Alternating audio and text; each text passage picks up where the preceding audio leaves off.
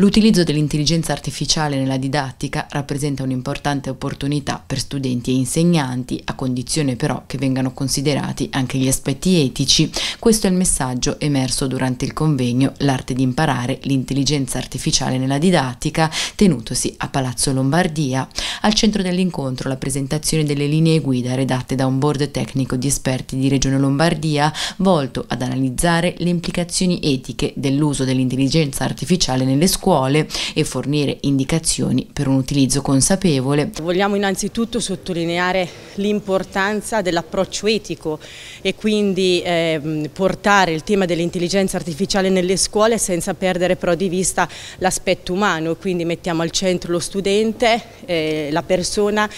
e, e, la sua dignità. È così anche stata sottolineata l'importanza di formare i docenti affinché questa tecnologia venga utilizzata come supporto alla didattica senza però sostituire il ruolo degli insegnanti. Quindi l'intelligenza artificiale non potrà mai sostituire i docenti, eh, ma potrà essere di ausilio eh, importante eh, per potenziare la didattica e quindi anche per favorire il successo formativo dei giovani. L'obiettivo delle linee guida diventa anche quello di iniziare a parlare ai ragazzi di questi temi in modo mirato e introdurli ad un uso consapevole dell'intelligenza artificiale, fornendo loro limiti e strumenti adeguati per sfruttare al meglio questa tecnologia tecnologia. Per essere passo con i tempi vuol dire introdurre dire, un insegnamento consapevole di questa, di questa tecnologia a partire ovviamente dalle scuole superiori e ovviamente poi a cascata anche le università che io seguo e si sono già attivate in questo senso con percorsi eh, e con linee eh, di, di